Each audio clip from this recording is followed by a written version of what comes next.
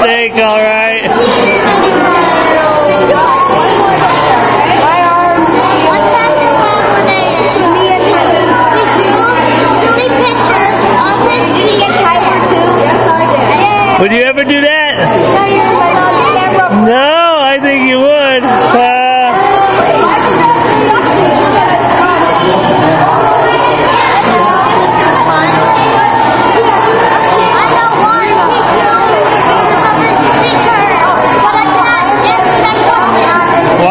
Amém.